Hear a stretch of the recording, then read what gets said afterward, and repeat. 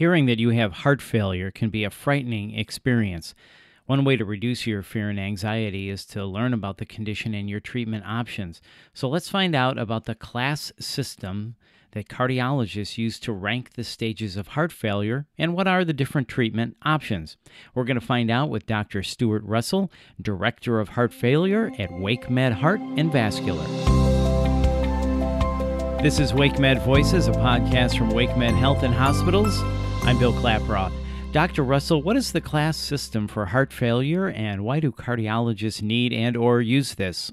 So the class system for heart failure is really kind of the oldest system that we have and it really separates our patients based on their functional capacity. So we really try to look at the symptoms that the patients are having and and put patients into classes based on that. The benefit of this is it really helps us to understand where a patient is. So we can think about a class one patient differently than a class four patient. So it's almost like a shorthand for communicating um, to get a good feel for where patients are, um, where one doc to another can really ha- have an idea about where their patient is and, and how to think about them.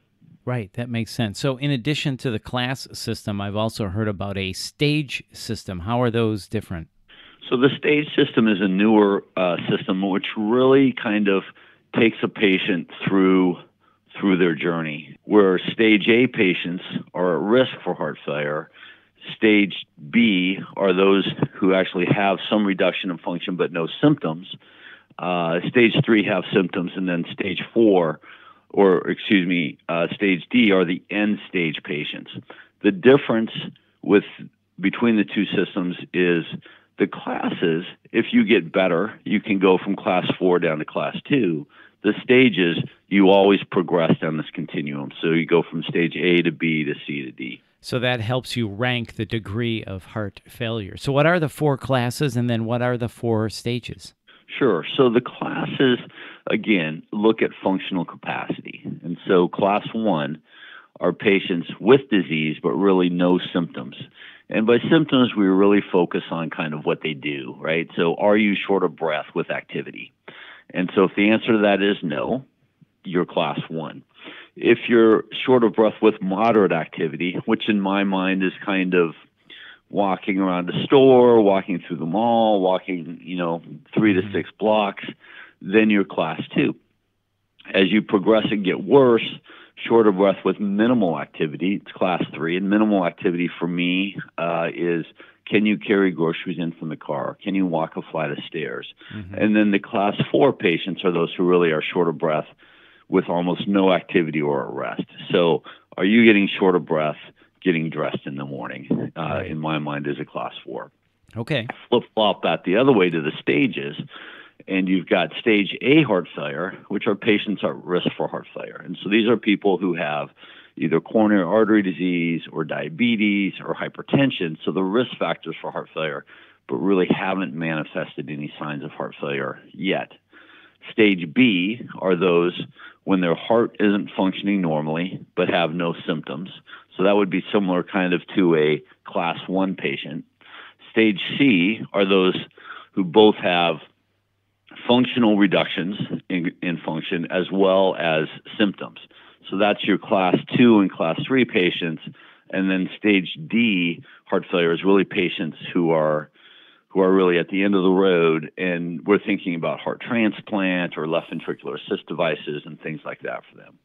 So you were just talking about symptoms such as shortness of breath. Are there other symptoms that people would experience in each of these stages and or classes and what is their quality of life like in each? The classifications are really kind of a functional type thing. Um, and so it is what do you do with activity? So from that aspect i would say no. But as you go through these there are similar things that patients get. So patients that are class one or class two really are pretty good. But as they get to class three, they'll start to have swelling in their legs. Uh, they may get swelling in their abdomen, and so they get feel like they're always bloated. Uh, when they lay down at night, just having gravity kind of bring more fluid up toward their lungs makes them short of breath, and so they're propping up on two or three pillows to sleep, or they wake up in the middle of the night short of breath. Class four patients, again, almost when they think about doing something, they start to get short of breath because they're so limited in terms of what their cardiac function reserve is. Okay, got it. So let's talk about treatment then. What methods of treatment do you use for each stage and class?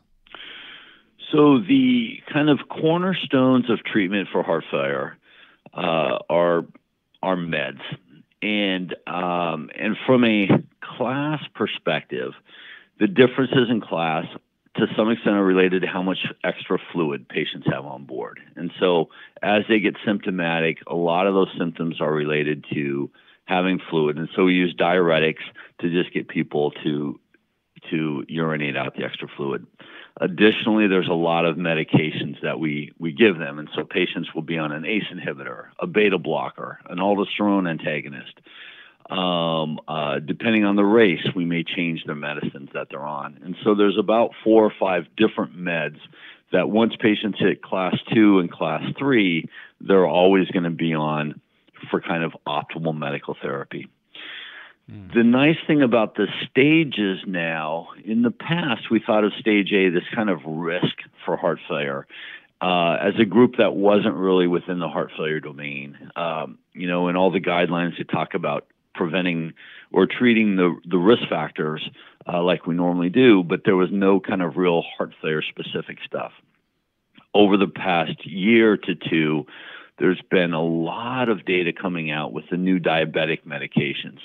Uh, showing really a reduction in heart failure progression um, with some of these medications. And so I think, uh, in contrast to five years ago, heart failure docs are really now focusing on diabetes and saying we need to, to make sure that patients with type 2 diabetes are on the right medications because it can really, I think, make an impact in terms of whether they will or won't progress to actually having heart failure. That's a really interesting link. What about lifestyle changes for people that are in the lower classes? Is it possible to exercise more, eat better, stop drinking alcohol, stop smoking? Do those things help? So definitely smoking. Uh, there was a study that came out this summer uh, that looked at there's these seven kind of life simple seven they called it uh, things that you can do. So losing weight, exercising, having your diabetes treated, smoking, blood pressure. And of those seven, the things that seemed to have the biggest impact were stopping smoking, treating your blood sugar, and then the third was losing weight. Uh, and so if you can get on those and really work to get to a more healthier lifestyle, I think this is again data from just following people over time, but data that would suggest you're going to reduce your chances of having heart failure. Mm-hmm. Well, that's good to know. So, what services then do you offer at WakeMed to help patients in each of these stages and/or classes? Yeah, so I think the big thing that we do is we take a look at each individual patient and say, are you on the right medications? Uh, there's a lot of medications that people are supposed to be on. Uh, a lot of times uh, they either have trouble getting on them or they just don't want to do it because it's a lot of different pills. And so we add an extra layer of push to make that happen. We also have support from a pharmacist uh, who will come to clinic and, and help you get up to the highest dose of medications because there's some good data that higher doses are better than lower doses.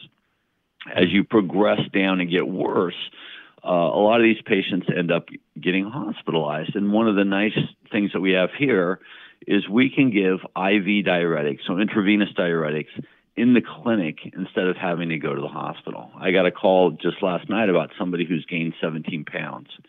I think five years ago, she would have been sent to the emergency room and she'd be admitted right now.